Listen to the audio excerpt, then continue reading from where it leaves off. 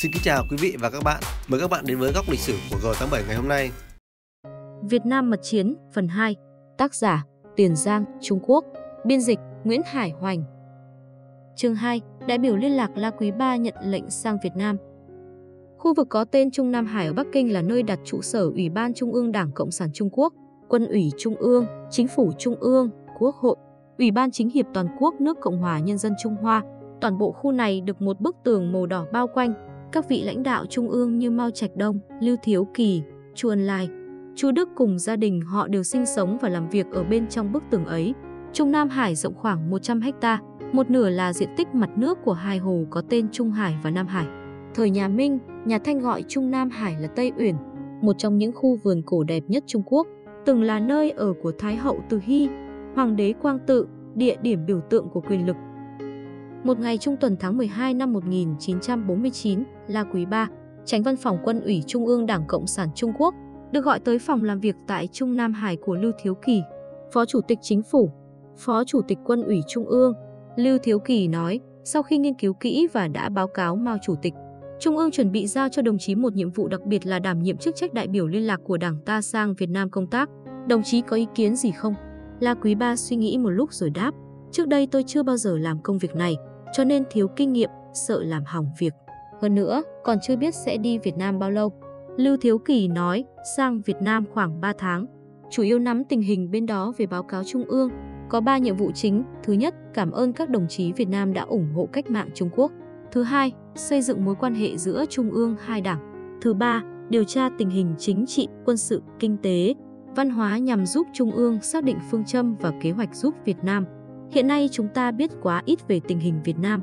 Ta biết rằng thực dân Pháp sau khi quay lại Việt Nam đã chiếm được các đô thị và đường giao thông huyết mạch. Tại miền Bắc Việt Nam, quân Pháp đang lấn chiếm dần các căn cứ địa của Đảng Cộng sản Đông Dương. Tình hình Việt Nam rất khó khăn. Trên quốc tế chưa có quốc gia nào thừa nhận nước Việt Nam Dân Chủ Cộng Hòa, lại càng chưa có nước nào viện trợ. Cuộc đấu tranh cách mạng của nhân dân Việt Nam đang ở vào tình trạng địch mạnh ta yếu, cô lập, không có viện trợ. Trung ương cho rằng nhân dân các nước đã giành được thắng lợi cách mạng, nên giúp đỡ cuộc đấu tranh chính nghĩa của nhân dân các nước đang đấu tranh giải phóng dân tộc. Viện trợ Việt Nam kháng chiến chống Pháp là nghĩa vụ quốc tế chúng ta không thể thoái thác. Hơn nữa, hiện nay thực dân Pháp đang cấu kết với tàn quân quốc dân đảng và bọn thổ phỉ ở vùng biên giới tiến hành phong tỏa biên giới Trung Việt, thường xuyên quấy rối gây tai họa cho vùng Vân Nam, Quảng Tây nước ta. Nghe xong, La Quý Ba trả lời với khẩu khí của thế hệ cán bộ thời ấy, kiên quyết phục tùng quyết định của Trung ương. La Quý Ba sinh năm 1907 trong một gia đình đang xa sút tại tỉnh Giang Tây. Năm 1926 gia nhập Quốc dân Đảng, ít lâu sau được kết nạp vào Đảng Cộng sản Trung Quốc, tham gia cuộc bạo động Thu Thu ở Cán Nam, sau đó làm bí thư huyện ủy huyện Viễn. Năm 1930 chuyển sang công tác trong Hồng quân, làm chính ủy tung đội, rồi làm quân đoàn trưởng quân đoàn 35 khi mới 23 tuổi. Tham gia cuộc vạn lý Trường Trinh với chức vụ chính ủy tiểu đoàn. Dọc đường được cử làm nhiệm vụ cảnh vệ cho hội nghị tuân nghĩa nổi tiếng. Khi nổ ra kháng chiến chống Nhật năm 1937, La Quý Ba là trưởng ban dân vận sư đoàn 120 bắt lộ quân, rồi chính ủy lữ đoàn, chính ủy và tư lệnh quân khu Lã Lương. La Quý Ba tính cách hiền lành, ít nói, làm việc thận trọng. Sau lần La Quý Ba gặp Lưu Thiếu Kỳ, tránh văn phòng Trung ương Đảng Dương Thượng Côn, sau này là Chủ tịch nước Trung Quốc thời gian 1988 đến 1993 bố trí để La Quý Ba hội đàm với Hoàng Văn Hoan, hồi ấy lấy bí danh là Trần Xuân Phong, Ủy viên Trung ương Đảng Cộng sản Việt Nam đến Bắc Kinh trên đường đi Liên Xô. Sau đó La gặp Lý Ban và Nguyễn Đức Thụy đang nằm chờ ở Bắc Kinh, nghe họ giới thiệu tình hình Việt Nam. Cuối cùng La Quý Ba đến làm việc với Bộ Tổng tham mưu, Bộ Tổng hậu cần thuộc Quân ủy Trung ương và Ban tổ chức Trung ương Đảng Cộng sản Trung Quốc. Trung ương Đảng Cộng sản Trung Quốc kiên quyết viện trợ Việt Nam. Cuối mùa thu năm 1949, giải phóng quân tiến xuống các tỉnh Tây Nam Trung Quốc truy kích tàn quân quốc dân đảng. Các nhà lãnh đạo Tân Trung Quốc bắt đầu chú ý tới mối quan hệ với Việt Nam. Một bộ phận tàn quân quốc dân đảng trốn sang Việt Nam và được quân đội Pháp bao che. Vì thế ngày 29 tháng 11 năm 1949, Thủ tướng Chu Ân Lai ra tuyên bố nói cho dù quân đội quốc dân đảng bại trận chạy tới đâu, chính phủ Trung Quốc đều bảo lưu quyền quan tâm vấn đề này. Chính phủ bất cứ nước nào dung nạp lực lượng vũ trang quốc dân đảng sẽ phải chịu trách nhiệm và gánh chịu mọi hậu quả. Sau khi nghe Lý Ban, Nguyễn Đức Thụy giới thiệu tình hình Việt Nam, Lưu Thiếu Kỳ nhận định hai vị đại biểu này có cấp bậc tương đối thấp. Ông kiến nghị phía Việt Nam cử một vị lãnh đạo cấp cao bí mật đến Trung Quốc thương thảo. Ngày 24 tháng 12 năm 1949, Lưu Thiếu Kỳ chủ trì cuộc họp Bộ Chính trị Trung ương Đảng Cộng sản Trung Quốc nghiên cứu vấn đề lập quan hệ ngoại giao với nước Việt Nam Dân Chủ Cộng Hòa. Hội nghị cho rằng trước khi nước Pháp chính thức thừa nhận Trung Quốc, việc chúng ta lập quan hệ ngoại giao với nước Việt Nam do Hồ Chí Minh lãnh đạo sẽ có nhiều thuận lợi. Sau đó, Lưu Thiếu Kỳ lấy danh nghĩa Trung ương Đảng Cộng sản Trung Quốc gửi tới Trung ương Đảng Cộng sản Việt Nam bức điện như sau. Vì mục đích lập mối quan hệ thường xuyên giữa hai đảng Trung Quốc Việt Nam và thảo luận các vấn đề trong cuộc đấu tranh chung chống bọn đế quốc, chúng tôi hy vọng Trung ương Đảng Cộng sản Việt Nam có thể cử một đoàn đại biểu phụ trách chính trị đến Bắc Kinh để bàn bạc và cùng nhau quyết định các vấn đề liên quan. Bức điện của Lưu Thiếu Kỳ có viết phái đoàn này nên bí mật đến Trung Quốc. Chỉ cần phái đoàn các đồng chí an toàn đến vùng giải phóng quân nhân dân Trung Quốc quản lý, thì sau đó mọi việc bảo đảm an toàn cho phái đoàn sẽ do bộ đội chúng tôi chịu trách nhiệm. Phía Việt Nam nhanh chóng điện trả lời, đồng ý với kiến nghị của Trung ương Đảng Cộng sản Trung Quốc. Phía Việt Nam sẽ sớm cử người có trách nhiệm đến Bắc Kinh. Đó là Trần Đăng Ninh, Ủy viên Bộ Chính trị Trung ương Đảng Cộng sản Đông Dương. Trên thực tế, Hồ Chí Minh quyết tâm tự mình đi Bắc Kinh và Moscow, nhưng phía Việt Nam e ngại nội dung bức điện này có thể bị quân đội Pháp bắt được, cho nên chỉ viết Trần Đăng Ninh đi Bắc Kinh. Ngày 25 tháng 12 năm 1949, Lưu Thiếu Kỳ gửi điện cho Đảng Cộng sản Đông Dương, báo cho phía Việt Nam biết sứ mệnh của La Quý Ba. Hai đồng chí Lý Ban, Nguyễn Đức Thụy đến Bắc Kinh đã báo cáo và chuyển đến chúng tôi yêu cầu của các đồng chí. Chúng tôi rất sẵn lòng viện trợ các đồng chí. Để có thể thực hiện cụ thể sự viện trợ ấy, chúng tôi dự định cử một đại biểu cùng 5-6 tùy viên mang theo một điện đài đi cùng đồng chí Nguyễn Đức Thụy qua đường Quảng Tây đến Việt Nam gặp các đồng chí. Nếu đồng ý, xin lập tức phúc đáp. Ngày 28 tháng 12, Lưu Thiếu Kỳ lại gửi điện cho Hồ Chí Minh. Đại biểu chúng tôi chuẩn bị cử đến Việt Nam tạm thời dùng hình thức bí mật. Việt Nam nhanh chóng phản ứng. Trước ngày đầu năm dương lịch, Hồ Chí Minh gửi điện tới Mao Trạch Đông. Tôi vô cùng vui mừng biết tin chính phủ nước Cộng hòa Nhân dân Trung Hoa đã thành lập. Xin thay mặt chính phủ và nhân dân Việt Nam chúc mừng Chủ tịch, chính phủ và nhân dân Trung Quốc.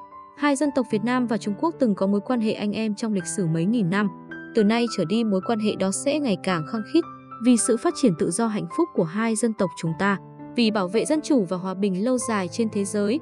Ngày 7 tháng Giêng năm 1950, Trung ương Đảng Cộng sản Trung Quốc nhận được điện báo của Trung ương Đảng Cộng sản Đông Dương. Chúng tôi vô cùng hoan nghênh việc các đồng chí cử đoàn đại biểu đến Việt Nam. Hồi ấy Mao Trạch Đông đang ở thăm Liên Xô, còn Chu Ân Lai thì ngày 10 tháng 1 sẽ đi Moscow gặp Mao Trạch Đông. Trước khi đi, Chu Ân Lai gọi La Quý Ba đến và cho biết Trung ương Đảng Cộng sản Trung Quốc đang xem xét vấn đề lập quan hệ ngoại giao với nước Việt Nam Dân Chủ Cộng Hòa. Từ ngày thành lập vào tháng 9 năm 1945 tới nay, nước này chưa được quốc gia nào thừa nhận. Nếu Trung Quốc thừa nhận Việt Nam thì Liên Xô và các nước Đông Âu trong phe xã hội chủ nghĩa sẽ thừa nhận nước Việt Nam Dân Chủ Cộng Hòa. Điều đó sẽ có tác dụng rất tốt giúp Việt Nam phá vỡ tình trạng cô lập, nâng cao địa vị quốc tế. Ngày 15 tháng 1 năm 1950, Bộ trưởng Ngoại giao Việt Nam lúc đó là Hoàng Minh Giám gửi công hàm tới Chu Ân Lai, Thủ tướng kiêm Bộ trưởng Ngoại giao Trung Quốc, căn cứ theo tuyên ngôn ngày 11 tháng 10 năm 1949 của Chính phủ nước Cộng hòa Nhân dân Trung Hoa. Chính phủ và nhân dân nước Việt Nam Dân Chủ Cộng hòa tuyên bố thừa nhận Chính phủ nước Cộng hòa Nhân dân Trung Hoa do Chủ tịch Mao Trạch Đông lãnh đạo, nhằm tăng cường tình hữu nghị và sự hợp tác giữa hai dân tộc Trung Quốc và Việt Nam. Chính phủ nước Việt Nam Dân Chủ Cộng hòa quyết định lập quan hệ ngoại giao chính thức với Chính phủ nước Cộng hòa Nhân dân Trung Hoa và trao đổi đại sứ. Mao Trạch Đông thảo điện văn thừa nhận chính phủ Việt Nam. Công hàm của chính phủ Việt Nam được kịp thời chuyển đến Mao Trạch Đông đang ở Liên Xô. Mao Trạch Đông đáp xe lửa đến Moscow hôm 16 tháng 12 năm 1949. Ông đã nhiều lần bàn bạc với Stalin và quyết định trong chuyến thăm này hai nước Liên Xô, Trung Quốc sẽ ký một hiệp ước hữu nghị. Mao Trạch Đông đã gửi điện gọi Chu Ân Lai đến Liên Xô tham gia đàm phán cụ thể. Khi bức điện của Hoàng Minh Giám phát đi thì Chu Ân Lai đang trên đoàn tàu đi Moscow. Sau khi đọc công hàm của Bộ trưởng Ngoại giao Việt Nam, Mao Trạch Đông lập tức tự tay thảo điện văn phúc đáp và ngày 17 tháng 1 điện cho Lưu Thiếu Kỳ. 1. Phải lập tức trả lời đồng ý việc chính phủ Việt Nam Dân Chủ Cộng Hòa yêu cầu lập quan hệ ngoại giao. Tôi đã thảo một bức điện văn phúc đáp, đề nghị ngày mai phát trên đài phát thanh, đồng thời dùng điện đài nội bộ gửi cho Hồ Chí Minh. 2. Đề nghị Bộ Ngoại giao ta chuyển đến Liên Xô và các nước dân chủ mới bản tuyên bố của chính phủ Việt Nam yêu cầu lập quan hệ ngoại giao với các nước sau khi nhận được điện của Mao Trạch Đông, Lưu Thiếu Kỳ đã chuyển ngay tới Hồ Kiều Mộc, người phụ trách công tác thông tin báo chí, dặn công bố bức điện này cùng với điện văn của Hoàng Minh Giám. Hôm sau, ngày 18 tháng 1, Đài Phát thanh Nhân dân Trung ương Bắc Kinh phát đi điện văn lấy danh nghĩa Chu Ân Lai trả lời Bộ trưởng Ngoại giao Việt Nam Hoàng Minh Giám. Tôi rất hân hạnh nhận được bức điện ngày 15 tháng 1 năm 1950 của quý Bộ trưởng yêu cầu lập quan hệ ngoại giao với nước Cộng hòa Nhân dân Trung Hoa. Nay tôi xin báo để Bộ trưởng biết, Chính phủ Nhân dân Trung ương nước Cộng hòa Nhân dân Trung Hoa cho rằng Chính phủ nước Việt Nam Dân Chủ Cộng Hòa là chính phủ hợp pháp đại biểu cho ý chí của nhân dân Việt Nam. Chính phủ Nhân dân Trung ương nước Cộng hòa Nhân dân Trung Hoa đồng ý lập quan hệ ngoại giao và trao đổi đại sứ với nước Việt Nam Dân Chủ Cộng Hòa, nhằm củng cố mối băng giao và tăng cường mối quan hệ hữu hảo và hợp tác giữa hai nước. Nay xin điện trả lời và hân hạnh mong được xem xét. Như vậy, Trung Quốc đã trở thành quốc gia đầu tiên trên thế giới lập quan hệ ngoại giao chính thức với nước Việt Nam Dân Chủ Cộng Hòa. Phía Việt Nam đặc biệt phấn khởi về sự kiện này. Ngày 26 tháng 1, Hoàng Minh Giám phát biểu với đài phát thanh tiếng nói Việt Nam. Giờ đây chúng ta đã có một nước láng giềng hữu nghị. Sự xuất hiện người bạn này sẽ cổ vũ mạnh mẽ nhân dân và quân đội ta. Chúng ta sẽ ngày càng trở nên lớn mạnh và nhất định có thể thực hiện lời kêu gọi nhanh chóng chuẩn bị tổng phản công của Chủ tịch Hồ Chí Minh. Tiếp sau Trung Quốc, ngày 31 tháng 1, Liên Xô công nhận nước Việt Nam Dân Chủ Cộng Hòa. Kế đó, một loạt quốc gia Đông Âu cũng công nhận Việt Nam.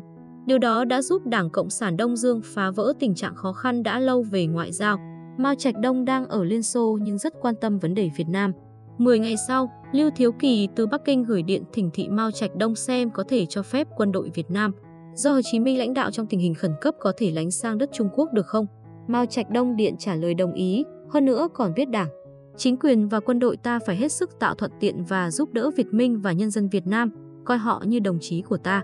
Nếu phía Việt Nam yêu cầu vũ khí, lương thực thì cũng phải tận lực giúp đỡ.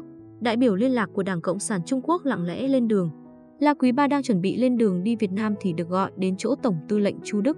Nghe La báo cáo xong, Chu Đức nhấn mạnh nhiệm vụ chính của La Quý Ba là vào Việt Nam tìm hiểu tình hình, xem xem họ cần giúp gì, dùng cách viện trợ như thế nào là tốt nhất. Chu Đức còn dặn dò phải nghiêm ngặt giữ bí mật, chỉ được công khai chức vụ của mình trước một số ít nhà lãnh đạo Việt Nam. Ngày 13 tháng 1 năm 1950, Lưu Thiếu Kỳ một lần nữa trao đổi với La Quý Ba. Ông nhắc lại chuyện quen biết Hồ Chí Minh, thập niên 1920, trong thời kỳ đại cách mạng Trung Quốc.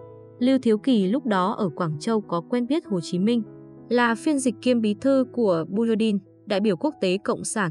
Hồ Chí Minh mở tại Quảng Châu lớp huấn luyện chính trị đặc biệt, đào tạo cán bộ thanh niên cách mạng Việt Nam, thường hay mời Lưu Thiếu Kỳ, Chu Ân Lai, Lý Phú Xuân, Bành Bái đến giảng bài. Hồi ấy Lưu Thiếu Kỳ chuyên giảng về phong trào công nhân. Năm 1938 tại Diên An, Lưu Thiếu Kỳ gặp lại Hồ Chí Minh bí mật đến Trung Quốc. Hai người chia tay tại Diên An đã được hơn 10 năm.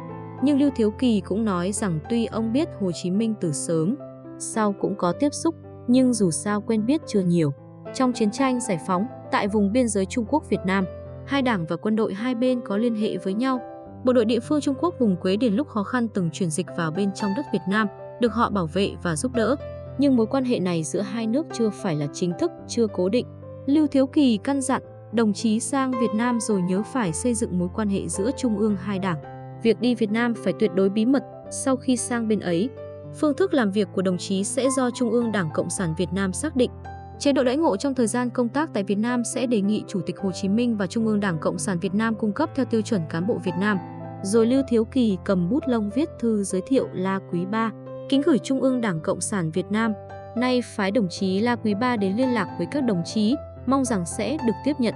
Đồng chí La sẽ trực tiếp báo cáo các đồng chí về nhiệm vụ chúng tôi giao cho đồng chí ấy. Xin được giới thiệu và gửi lời kính chào. Trung ương Đảng Cộng sản Trung Quốc, Lưu Thiếu Kỳ. Sau giây lát suy nghĩ, Lưu Thiếu Kỳ lại viết bức thư giới thiệu thứ hai gửi Hồ Chí Minh. Nay xin giới thiệu đồng chí La Quý Ba, một bí thư tỉnh ủy và chính ủy trong quân đội đến chỗ đồng chí làm đại biểu liên lạc của Trung ương Đảng Cộng sản Trung Quốc, kèm theo trợ thủ và tùy viên, tổng cộng 8 người. Trung ương Đảng Cộng sản Trung Quốc, Lưu Thiếu Kỳ. Hết phần 2. Xin mời quý thính giả đón nghe phần 3. Bài viết do dịch giả Nguyễn Hải Hoành lực dịch từ nguồn tiếng Trung, cuộc chiến tranh bí mật ở Việt Nam. Ghi chép thực về việc Trung Quốc giúp đỡ cuộc chiến tranh 1950 đến 1954 của Việt Nam của tác giả Tiền Giang.